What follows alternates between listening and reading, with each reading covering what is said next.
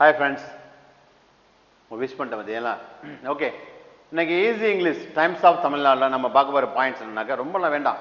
Short and ஸ்வீட்டாக சொல்கிறேன் common tips இங்கிலீஷில் காமன் டிப்ஸ் அப்படின்னு என்ன அப்படின்னா நம்ம தமிழ் பேசும்போது இடையிடையில் கண்டினியூவாக தமிழும் பேச மாட்டோம்.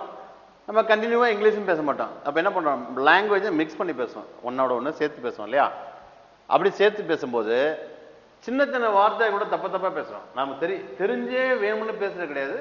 தெரியாம தான் பேசுறோம். அப்படி தெரியாம பேசுற வார்த்தைகள் எப்படி நம்ம தெரிஞ்சுக்கிறது? அது எப்படி கரெக்ட் பண்றது? அப்படி பார்க்கறது தான் நம்ம டைம்ஸ் ஆஃப் தமிழோட இந்த ஈஸி இங்கிலீஷ் பேனா எடுக்காம நான் பேனா எடுப்பேன். நோட் எடுக்காம பார்த்த உடனே தெரிஞ்சுக்கிறது. அதான் இங்கிலீஷ் ஓகே எனவே come to the point out இப்போ நம்ம பார்க்க போறது பார்த்தீங்கன்னா இது என்னது? இதை படிங்கன்னா ஜஸ்டின் ஒருத்தன் பேர் ஒரு ஒரு ஆணுடைய பேர் ஜஸ்டின். பழைய வில்லன் நடிகர் பேர் அவர் பேர் ஜஸ்டின். இப்போ நம்மள்ட்ட நிறையா ஃப்ரெண்ட்ஸ்லாம் இருப்பாங்க. இது என்னடா அப்படின்னு கேட்டால் கொஸ்டின் அப்படி தானே ஓகே இது ஜஸ்டின்னா அது கொஸ்டின் எல்லாருமே இதுக்கு என்ன தமிழ் அர்த்தம்? கொஸ்டின் என்ன? கேள்வி. அப்படின்னு சொல்றாங்க. தொண்ணூத்தி ஒன்பது புள்ளி ஒன்பது மக்கள் வந்து இந்த கேள்விக்கு இங்கிலீஷ் என்னன்னு கேட்டால் கொஸ்டின் அப்படின்றாங்க. கொஸ்டின் கிடையாது ஜஸ்டின் கிடையாது. எப்படி உச்சரிக்கணும்? Question question உச்சரிக்கணும். ஏன்னா அது பாருங்க இந்த இருக்கு இல்லையா நம்ம ஐ மீன் இந்த டிஐஓஎன் இருக்கு இல்லையா அந்த டிஐ ஒன் எப்படி உச்சரிக்கணும் அப்படின்னா ஷன்னு உச்சரிக்கணும். ஒண்ணு இந்த ஷன் இது வடமொழி எழுத்து சன் இது தெரியலையா? இந்த சன் எப்படி வச்சிருப்பீங்க கொஸ்டன் கொஸ்டின் கிடையாது. டிஐஓஎன் டிஐஓஎன் சொன்னாவே இது வந்து ஷன் அப்படி சொல்லணும். இல்லது ஷன் இப்படிதான் உச்சரிக்கணும். உதாரணமா உதாரணம் சொல்ல பாருங்க இங்க பாருங்க. நேஷன். என்னது? ஷன் வேற என்ன சொல்லுவாங்களுங்க information no mention. Thank you சொன்னால் நோ மென்ஷன் அப்படின்றோம். நோ மென்ஷன் சொல்கிறோமா இல்லையா? அப்போ இது என்னது? இது ஷன் ஓகே தானே? அப்படி சொல்லும்போது எப்படி வரும்? நம்ம ஜஸ்டின் இங்கே ஐ ஓ இருக்கா? ஓ இல்லை. இந்த இடத்துல ஓ இல்லை. இதை நீங்கள் ஜஸ்டின்னு சொல்லலாம். ஆனால் இங்கே என்ன இருக்கு? டிஏஓஎன் அப்படின்னா ஷன் இது எப்படி நீங்கள் கொஸ்டின்னு சொல்லலாம்? இனிமேலாவது கொஸ்டின் ஜஸ்டின்னு சொல்லாமல் கொஷன் ஷன்னு உச்சரிங்க. இது. ஓகே அதுக்கு என்ன வார்த்தைகள் உச்சரிக்க? எழுதுன்னு பாருங்க இப்போ. இந்த பாருங்க.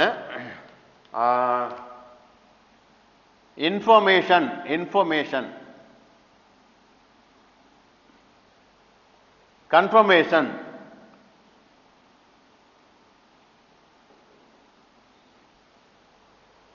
ஓகேயா so function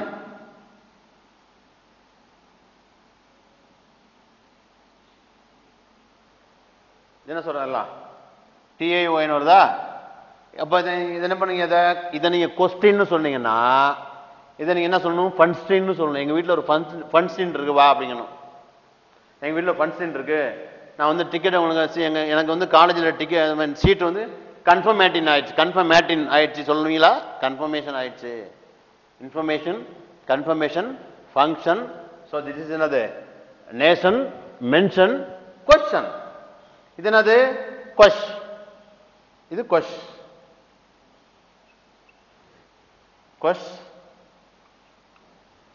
கொஷ் plus an equal to question இனிமேலாவது மை டியர் ஃப்ரெண்ட்ஸ் கொஸ்டின் அப்படின்னு சொல்லவே சொல்லாதீங்க. கொஸ்டன் மறந்துடாதீங்க. நீங்க அதே சொல்லி சொல்லி பழகிப்பீங்க நோ ப்ராப்ளம் இனிமேல் அதை பழகிக்கிங்க. இப்போ சின்ன வயசுலேருந்து பிறந்ததுல என்ன பண்ணாங்களாம் மொபைல் ஃபோன் பேசி பேசி பழகலை.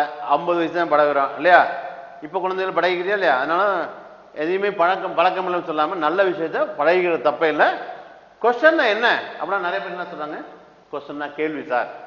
கேள்வி மட்டுமே கொஸ்டின் கிடையாது. கேள்வி கேட்கறதுக்கும் பேர் இங்கிலீஷ் கொஸ்டின் தான் பேர். கேள்வி கேட்கறது இங்கிலீஷ் பேர் கொஸ்டின் தான் பேர். நிறைய பேர் கேள்வி மட்டும் நினைச்சாங்க உதாரணமா பார்த்தீங்கன்னா இப்போ பார்த்தீங்கன்னா ஸ்கூல் அப்படின்னா பள்ளிக்கூடம். சால்ட் அப்படின்னா உப்பு. சுகர் அப்படின்னா சர்க்கரை. இல்லையா? காலேஜ் அப்படின்னா கல்லூரி. இப்போ காலேஜ் என்ன? கல்லூரி. சுகர் என்ன? சர்க்கரை. உப்பு. ஸ்கூல் ஸ்கூல்னா பள்ளிக்கூடத்து மட்டும் ஸ்கூல் கிடையாது. பள்ளிக்கூடத்துல படிக்கிறதுக்கும் பேர் ஸ்கூல் தான். சால்ட்னா உப்பு கிடையாது. உப்பு போடுவோம்ல அந்த செயலுக்கு பேரும் சால்ட்டு தான். சுகர்னா சர்க்கரை மட்டும் இல்ல சர்க்கரை போடுறதுக்கும் பேரு சுகர் தான் காலேஜ்னா காலேஜ் மட்டும்தான். காலேஜில் படிக்கிறது காலேஜ் கிடையாது. ஓகே அப்போது காலேஜ்னா வெறும் காலேஜ் தான். கல்லூரி அவ்வளோதான் கல்லூரியில் படிக்கிறதுக்கு பேர் வேறு. அது சும்மா ஸ்டடினா சொல்லிக்கலாம். ஸோ பள்ளிக்கூடம் ஸ்கூல் தான். பள்ளிக்கூடத்தில் படிக்கிறதுக்கும் ஸ்கூல் தான். ஸ்கூல் உப்புக்கும் அதான் உப்பு போடுறதுக்கு அதான். சர்க்கரைக்கு தான் சர்க்கரை போடுறதுக்கு தான் அதான். இது காலேஜ் மட்டும்தான். காலேஜில் படிக்கிறதுக்கு இந்த வார்த்தை கிடையாது. இதில் ஏன் சொல்கிறேன் அப்படின்னா அதே போல தான் அந்த கொஸ்டன் அப்படின்னாக்க கேள்விக்கும் கொஸ்டின் தான் கேள்வி கேட்கறதுக்கும் கொஸ்டின் தான். அதான் நான் சொல்ல வந்தேன். புரியுதாப்பா அடுத்தது கொஞ்சம் பார்ப்போம். ஸோ இன்னைக்கு நீங்கள் பார்த்த பாயிண்ட் என்னது? இனிமேல் கொஸ்டின் கிடையாது கொஸ்டன் ஓகே தேங்க்யூ மீண்டும் சந்திப்போம். இங்கே பாருங்க டெய்லி ஒன்று ஒன்றா சொல்லுவேன். நீங்கள் கேட்டுட்டு அப்படியே படிச்சு எனக்கு ஆஃப் பண்ண வச்சிடாம உங்கள் ஃப்ரெண்ட்ஸுக்கு பார்க்க சொல்லி பார்க்க சொல்லுங்கள் வீட்டில் இருந்துட்டு நீங்கள் அதிகபட்சமாக ரெண்டு நிமிஷம் தான் டெய்லி ரெண்டு நிமிஷத்தில் நீங்கள் கேட்காத சிம்பிளாக நீங்கள் செய்யக்கூடிய அன்றாட வாழ் லைஃப்பில் செய்யக்கூடிய சின்ன சின்ன இங்கிலீஷ் கரெக்ஷனை பண்ணிவிடுறோம் ஓகேங்களா நீங்கள் மறந்துடாமல் உங்கள் ஃப்ரெண்ட்ஸ் பார்க்க சொல்கிறது மட்டும் இல்லை அவங்களை சப்ஸ்கிரைப் பண்ண சொல்லுங்கள் times of Tamil Nadu. Okay bye thank you